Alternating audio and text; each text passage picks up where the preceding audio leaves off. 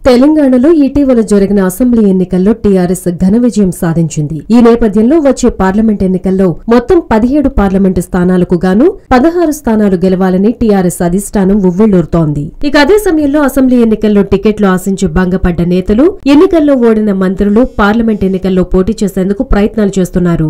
అయితే అన్ని లోక్సభ స్థానాల్లో టీఆర్ఎస్ సిట్టింగ్ ఎంపీలు టికెట్ ఆశించే నేతలు ఉన్నప్పటికీ సికింద్రాబాద్ లోక్సభ స్థానం నుండి ఎవరు పోటీ చేస్తారు అనేది ఆసక్తి నెలకొంది. రెండు వేల పద్నాలుగు ఎన్నికల్లో ఇక్కడి నుండి బీజేపీ అభ్యర్థి బండారు దత్తాత్రేయ పోటీ చేసి విజయం సాధించారు. దీంతో వచ్చే ఎన్నికల్లో ఈ స్థానాన్ని కైవసం చేసుకునేందుకు టీఆర్ఎస్ అధిష్టానం భావిస్తోంది. అయితే ఇక్కడి నుంచి పోటీ చేసేందుకు నేతలు పోటీ పడుతున్నారు. ప్రస్తుత మంత్రి తలసాని శ్రీనివాస్ యాదవ్ కుమారుడు సాయి కిరణ్ పోటీ చేయడానికి సిద్దమవుతున్నారు అంతేకాదు తలసాని సికింద్రాబాద్ లోక్సభ టికెట్ తన కుమారునికి ఇవ్వాలని కేటీఆర్ దృష్టికి తీసుకెళ్ళారని తెలుస్తోంది. అయితే టీఆర్ఎస్ అధిష్టానం మాత్రం ఇక్కడి నుండి హైదరాబాద్ మేజర్ బొంతు రామ్మోహన్ సతీమణి శ్రీదేవిని బరిలోకి దింపాలని యోచిస్తున్నట్లు సమాచారం. ఇటీవల అసెంబ్లీ ఎన్నికల్లో మేయర్ రామ్మోహన్ ఉప్పల్ నియోజకవర్గ టికెట్ ఆశించారు కానీ ఆయనకు దక్కలేదు. ఆ సమయంలో తన సతీమణి శ్రీదేవికి సికింద్రాబాద్ లోక్సభ టికెట్ ఇస్తామని కేటీఆర్ హామీ ఇచ్చారని సమాచారం.